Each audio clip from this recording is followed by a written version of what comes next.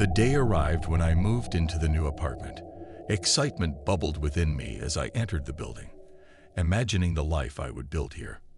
The place had an old charm, with creaky floors and high ceilings that whispered stories of times long past.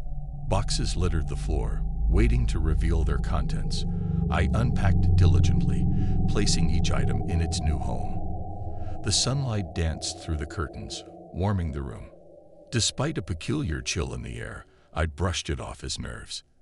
As night fell, a low hum echoed through the walls. It was subtle, like a distant conversation. I dismissed it, thinking it was the building's settling bones. But as days went by, the hum grew into mysterious whispers that sent shivers down my spine. Things started to shift on their own. A book sliding off a shelf, a door creaking open uninvited. Lights flickered, casting eerie shadows. Doubt gnawed at me, but I clung to logic even as my heart raced in my chest. Determined to unravel the enigma, I delved into the building's past. The air turned heavy as I uncovered tales of sorrow and lost souls. The apartment had a history tainted with tragedy, like a ghostly echo of lives once lived.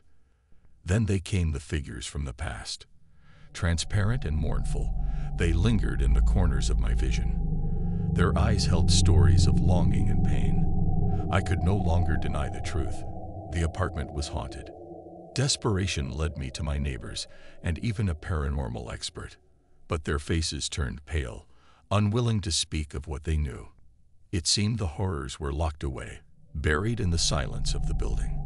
The spirits grew bolder, their presence suffocating.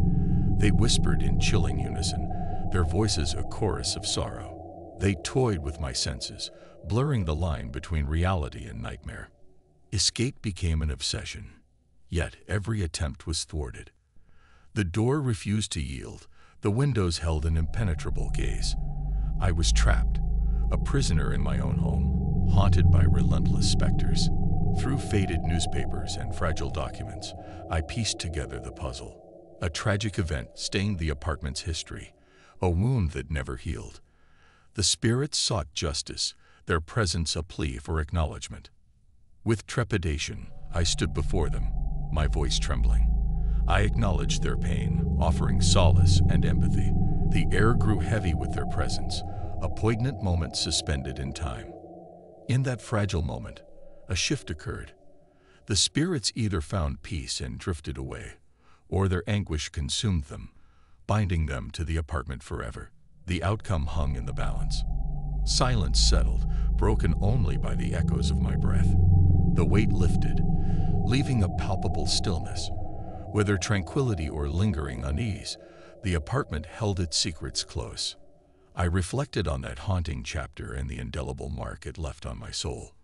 The walls whispered tales, a reminder of the fine line between the living and the departed. The experience would forever haunt my thoughts.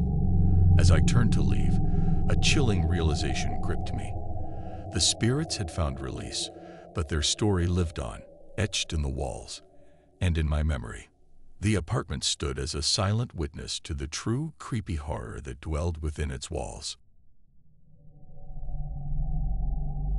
The day I found the apartment, it seemed like a dream come true. The building stood tall, welcoming me with open arms.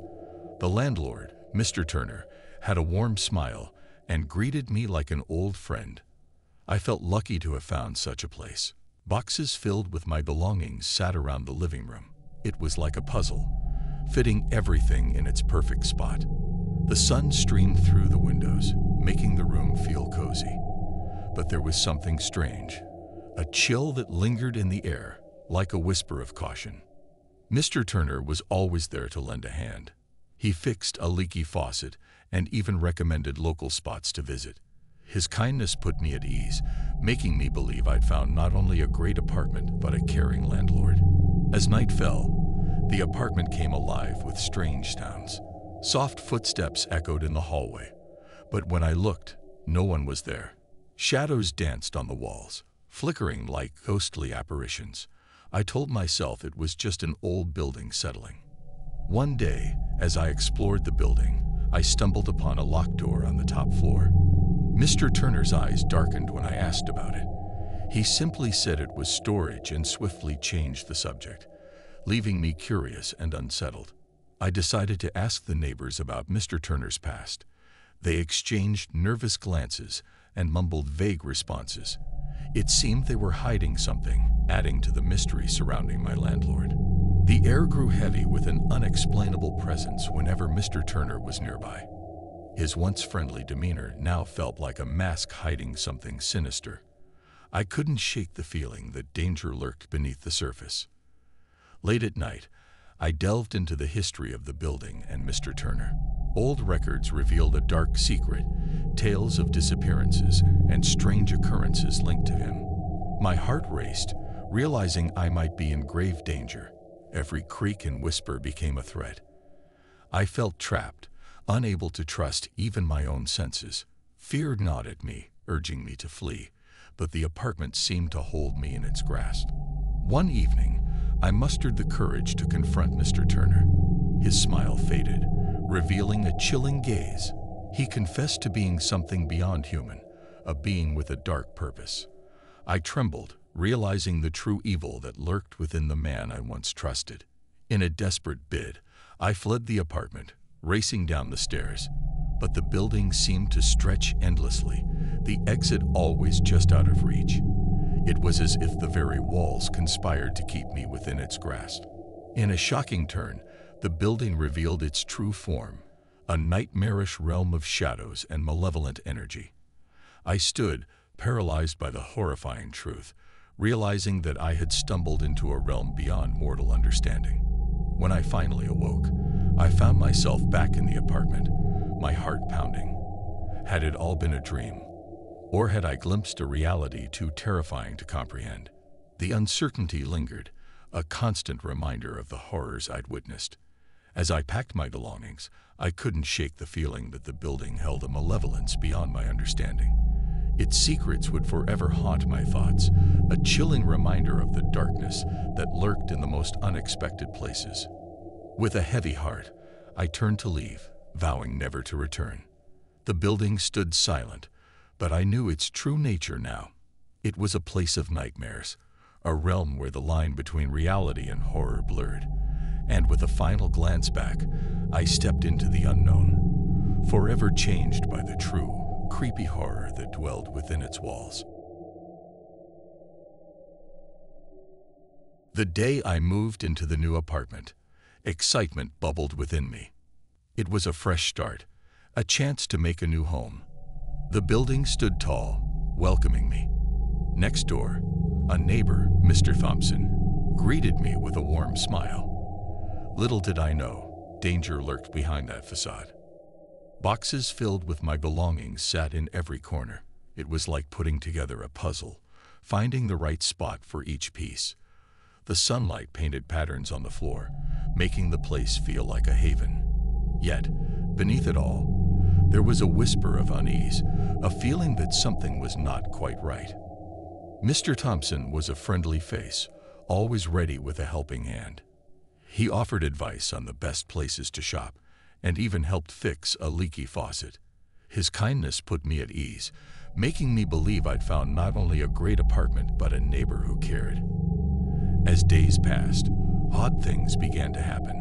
A shadow flickered at his door. A muffled sound echoed from his apartment. I told myself it was just the sounds of a bustling building. But deep down, I knew something was amiss. I grew curious about Mr. Thompson. Who was he really? I asked around, but no one seemed to know much about him. It was as if he had appeared out of thin air. The mystery deepened, leaving me uneasy. Each day, the unease gnawed at me a bit more. I noticed the small details, the way he looked at me, the hushed conversations he had with strangers. It was like a puzzle, and the pieces didn't quite fit together. Late one night, I couldn't sleep. I delved into the internet, searching for any information about Mr. Thompson. What I found sent chills down my spine. He had a dark past, a history of disappearances and unspeakable acts. He wasn't who he seemed to be. Suddenly, I knew he was aware of my snooping. The apartment building turned into a maze, each corridor a potential trap. I had to be cautious, for I knew I was now on his list. I sought help from friends and from the police, but their skepticism hung heavy in the air. They needed proof, something concrete. Time was running out, and I felt the weight of the danger pressing down on me. One fateful night, I gathered my courage. I confronted Mr. Thompson, my voice trembling. He didn't deny it, didn't even flinch. The air grew heavy, charged with a sinister energy. In a surge of adrenaline, I fled. The building seemed to stretch endlessly, the exit always just out of reach. But I pushed on, determined to escape the clutches of that malevolent presence. When I finally emerged, gasping for breath, I looked back at the building. It stood silent, but I knew its true nature now. It was a place of nightmares, a realm where the line between reality and horror blurred. And with a final glance back, I stepped into the unknown, forever changed by the true, creepy horror that dwelled within its walls. Thank you for watching Whispering Tales TV. So don't forget to subscribe, hit that notification bell, and join our community of fellow thrill seekers. Get ready for spine tingling stories that will keep you up at night. Let the Whispering Tales begin.